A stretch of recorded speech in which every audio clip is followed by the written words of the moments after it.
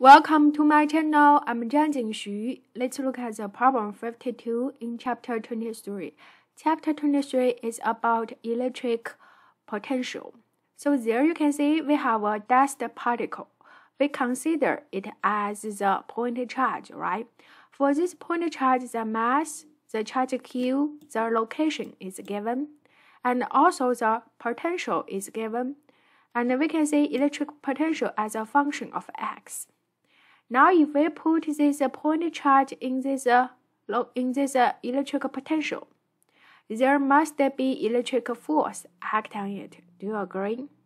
And the question asks you the initial acceleration of this point charge. So we can consider Newton's second law, the net force equal to mass times acceleration, right? And the net force in this case is just the electric force.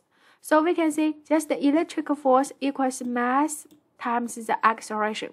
Now we need to find acceleration. We know mass is given, charge is given, so we need to know the electric field at the first. So now, next question. How can you find the electric field there the electric potential is given? So we can say this electric potential only changes with x. So that means the electric field only changes only has x component, right? So we can get Ex as a negative partial derivation v with x. Now you input the v inside, you get the function for electric field in s component, this one, right?